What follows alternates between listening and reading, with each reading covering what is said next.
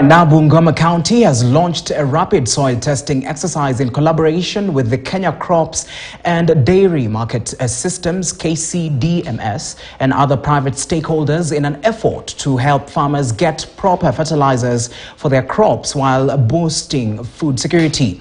KCDMS, a USAID funded project, is keen on fostering relations with at least 12 counties, including Bungoma, Vihiga, Kakamega, In ensuring over 20,000 smallholder farmers make informed decision on their farming before planting. Seth Yake, the productivity director, KCDMS, says they also involve grassroots agro uh, agrovets and farms inputs promotions, FIPS, to train technicians who love around villages to just test acidity, which is the basic measure for gauging.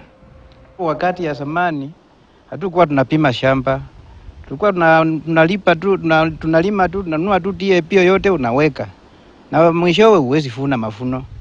Sasa naona saa hii kweli tutaenda kufuna.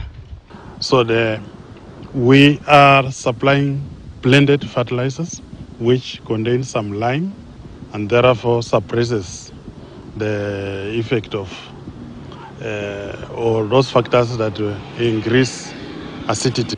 I see it as a very, very important program because soil pH is one of the basic and very important soil fertility parameters among all other chemical parameters that we analyze.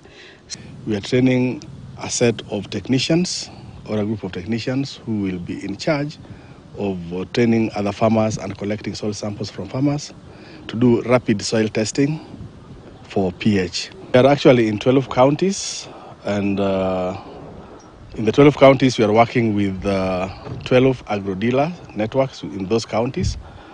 And these agro dealers are working through the village based advisors and FIPS in the respective counties. So, overally, we are targeting about uh, 120,000 farmers. However, for soil testing, we are going to target even more farmers than we anticipate to get in the value chains that we are working in. Now, motorists in Nairobi were yesterday subjected to fuel